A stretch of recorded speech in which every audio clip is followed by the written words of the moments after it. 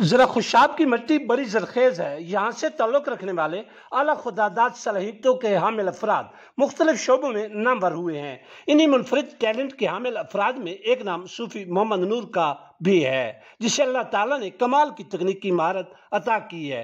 पचपन साल सूफ़ी मोहम्मद नूर का ताल्लुक खुशाब के इलाके नली दामन मोहार से है। वो रेडियो, टीवी और इलेक्ट्रिक के मशहूर मकैनिक हैं। सूफ़ी मोहम्मद नूर ने अपनी आला खुदादात सलाहितों को बुरुए कार लाते हुए लकड़ी के छोटे छोटे टुकड़ों के साथ इमारत का टेक्निकल महारत के साथ जिस तरह मॉडल तैयार करके देखने वालों को हैरान कर दिया है, वो काबिल सच सतैश और लायक तहसीन है। सूफी मोहम्मद नूर के मुताबिक इसे ये खूबसूरत मॉडल तैयार करने में तकरीबन तीन महीने लगे हैं। इसकी दिन रात की मेहनत से इस मॉडल का काम इंतहाई सफ़ाई और खूबसूरती से किया गया है। देखने से पता चलता है कि सूफी मोहम्मद नूर के इस लकड़ी के शाहकार में लाइटिंग, फिनिशिंग दरवाज़ों और खिड़कियों का काम इंतहाई महारत से किया गया है। सूफी मोहम्मद नूर का कहना है कि इससे पहले भी मैंने मुतद मॉडल तैयार किए हैं। ये मेरा शौक़ है। इन आइंदा और दीगर तरीक़ी मकाम के मॉडल्स तैयार करूँगा।